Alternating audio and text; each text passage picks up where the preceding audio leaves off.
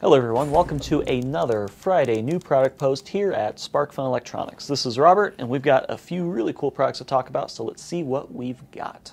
This is the MicroView, which was a wildly successful Kickstarter, and we actually manufacture the MicroView for that Kickstarter, and we will be selling this after we do all the Kickstarter fulfillment. For those of you not familiar with the MicroView, uh, we have a few different videos that you can check out to see what it does.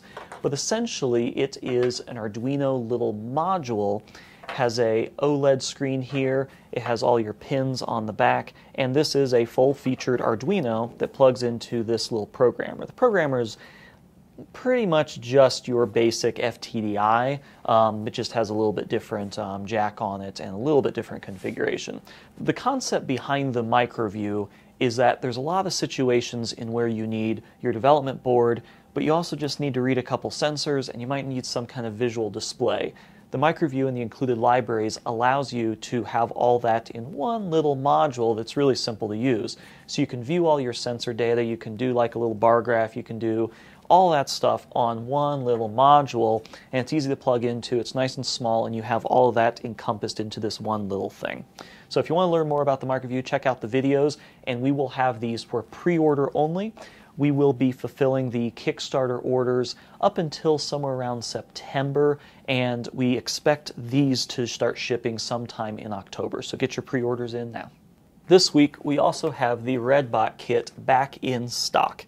We've been out of stock of the Redbot kit for, well, way too long, and now we have it back in stock. It has a couple of small improvements over the last iteration. Uh, you notice that we have the new accelerometer included in the kit. This one does not require soldering. It has the pass-through headers, so you can plug it in like that, and then you can still plug things on top of it. There are a couple minor tweaks to the main board, but this is the main board that we have been selling on the site, so it includes the newest main board. And if we look at the bottom, there is one big improvement here you notice that we're not using the wheel encoder discs here. We actually have the dual output shafts. So we have the output shaft that goes to the actual wheels, and then we have another output shaft that goes on the back here. This works well with the Dagu wheel encoders that slap right on the back of the output shafts. So no longer do you have to use the little wheel discs and then put the encoder somewhere nestled inside there and figure that all out. You can actually just attach to the back of the shafts and run it directly to the board. So it makes um, the wheel encoding go a lot smoother. Speaking of robotic kits, what if you need something a little bit more durable than the Redbot? How about your, your very own tank? This is the T-Rex chassis. The T-Rex chassis works with the T-Rex controller that we released um, probably a few months ago, and this thing is solid, rugged, and durable. It is made all out of metal. We have this fantastic suspension and it has these really beefy metal treads on it. Uh, I'm going to go over a couple quick little features of it and Nick's got a really cool demo for you.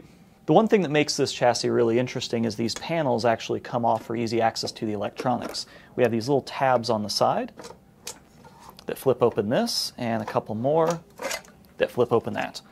So inside you can see there's a ton of space for all your different sensors and electronics and we've got the motors right here and here are the standoffs for the T-Rex controller, so you can just bolt that in, connect it, and you have all this space free. What I've done is I've created a gimbal using the Actobotics parts, and then I've attached uh, large continuous rotation servos to the uh,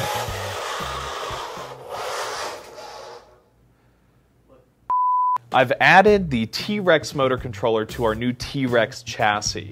And using the example code that comes with the controller, I've hooked it up to a standard hobby remote control receiver. So now uh, that only takes two channels to drive the tank, and so I wanted to use those extra channels for something fun. So I hooked up a couple of servos using our Actobotics parts and bolted them to the top of the tank here to create a rubber band turret so I can actually drive the tank as well as steer the turret and fire rubber bands.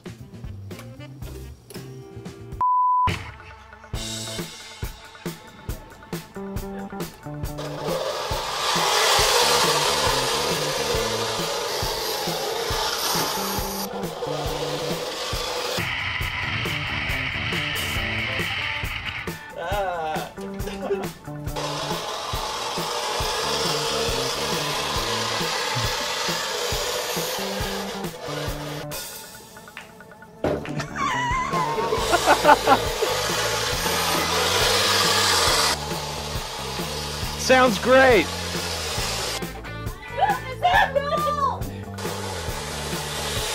that noise?